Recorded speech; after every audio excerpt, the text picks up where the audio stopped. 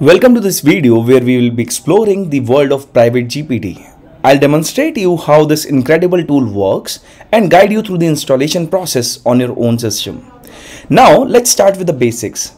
Are you familiar with ChatGPT? It's a powerful AI model that can handle wide range of tasks from generating content to coding.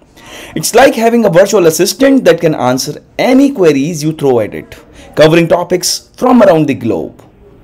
Imagine a situation where you have important business reports stored in formats like Excel or PDF. Now you need to extract out certain piece of information from these reports, but you are concerned about maintaining their confidentiality. That means you cannot share these reports with anyone else. One solution to your problem is uploading your content to ChatGPT and asking the queries about the information that you are looking for but that means the data will be transmitted over internet. So what other options do you have? Here enters private gpt the perfect solution to your requirement. Private gpt is an innovative open source project designed to provide secure environment for interacting with your documents. So with private gpt you no longer need to share the private documents with big corporations as it offers a local open source alternative. Simply Private GPT is a chatbot that can answer any query related to the documents stored in your local system. So you have your own private chatbot and you are not even sharing the data, the documents with anyone else over the internet with the power of Private GPT. Now you might be excited to see how Private GPT actually works. So before getting into the installation process, I'll show you the working of Private GPT. So here as you can see, I have this repository with the name private GPT and it contains several subdirectories and files.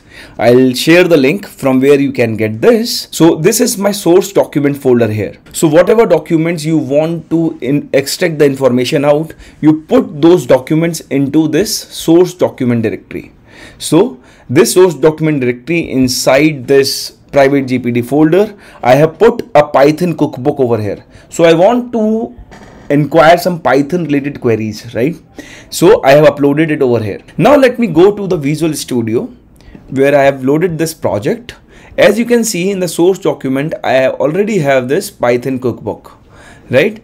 Now there is a file called ingest.py. This ingest.py is actually helps me to pre-process this document, the source document, so that they will be ready for uh, being queried. So I'll run this file python ingest.py. As you will see, as I'll run this, it will say loading new documents and it has loaded 706 new documents. So I have uploaded only one file, but it says it has loaded 706 new documents. So let me show you when I'll go to Finder, I'll open this cookbook, right? So you can see it contains 706 pages. So it has loaded 706 pages. That's why it is saying that it has loaded 706 new documents. And it has done pre-processing. It has divided the data into chunks. So it has converted into 2968 chunks of maximum 500 tokens. Right? And data is still being processed. As you can see the ingestion has not ended. Now you'll see ingestion is complete. You can run private gpt.py to query your documents. So now ingestion is done. Now this data is ready to be queried let me tell you, do one thing. Now i'll run the file python private gpt.py this is the file which will help me to interact with the documents or query the documents. It uh, asked me to enter a query. Now let me enter the query. What is list comprehension in python so it will take time of 10 to 20 seconds but it will give me the answer and will also give me the source from which it has actually extracted this information out. Let's wait for the result so as you can see it is giving me response it has started giving me response like list comprehension are the concise way to create list based on the result of an expression.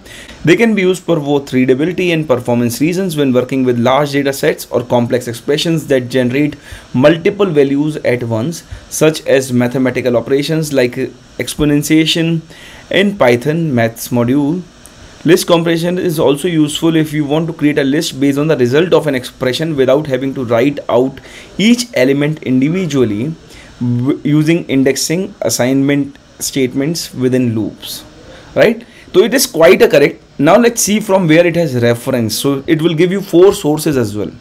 So here it has taken this reference list files iterator this is the first reference right this is the second reference where you can see it has referred some source for list comprehension right?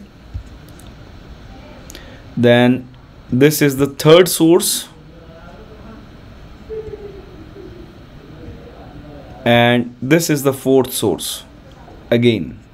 So as you can see it has taken some references from the document see the doc the reference document is python cookbook third edition.pdf so it has taken the reference from the document that i uploaded and has given me the response which is quite accurate. Now as you have seen how incredible tool this is. Let's see how you can get it installed on your system. So first of all if you want to install private gpt search for this repo over internet and you can get this repo.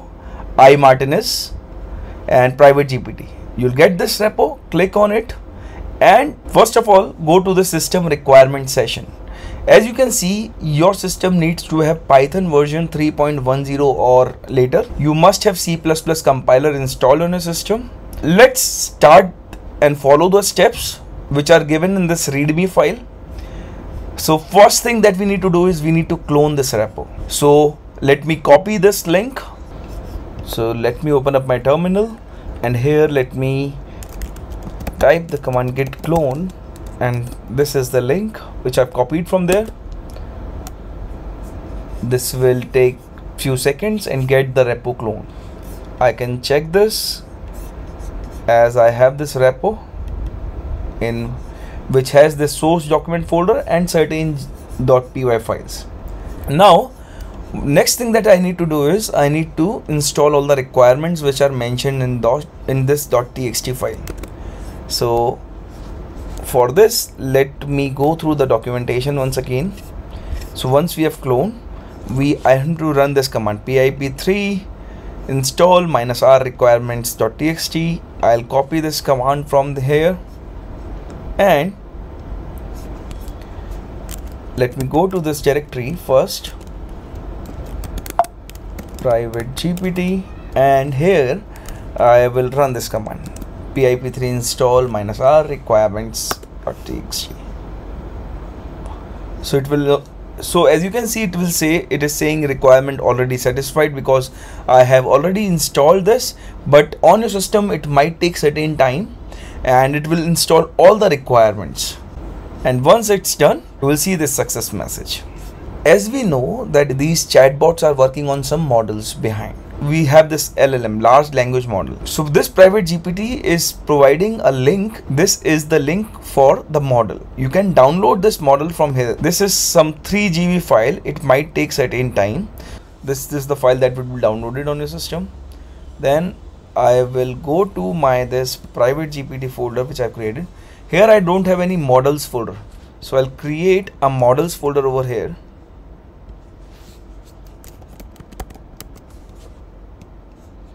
and I'll paste this here only. What you have to do is you have to paste the downloaded model into the repository of yours but you need to create a new folder with the name models and paste it over there. Third thing that it is saying is copy the example.env file to .env file. I'll run this command over here and you will see the file has been a new file has been generated with .env name. So if you want to see this let me do ls minus la so here you will see this .env file has been created. Let me open this folder into Visual Studio so that you can have a better look at the file structures. So this is the folder. In models I can see I have this model pasted over there. In the source documents there is one text file which is there. It is an example text. And this is .env file. So this .env file contains certain uh, variable setup.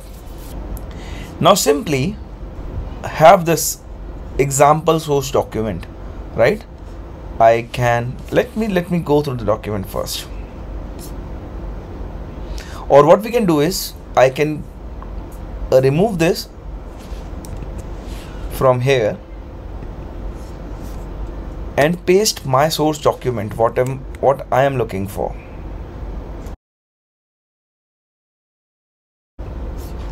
I'll go to this private GPT folder and source documents. I have pasted this. I'll go to Visual Studio. As I can see I have this over here. Now I'll go to the terminal. So here I have two files ingest.py and privategpt.py these are the two files that are creating that are doing all the magic right? So first I have to ingest the data. I'll run the command python 3 ingest.py see ingestion is done. It is waiting for something like it has loaded the documents it has split it into the chunks. Now it is waiting uh, like we are waiting for it to get completed. Now see ingestion is complete. Now we'll run python private gpt.py file this will load the model and will help me to query the database. So let me ask a query regarding suppose list only. So how lists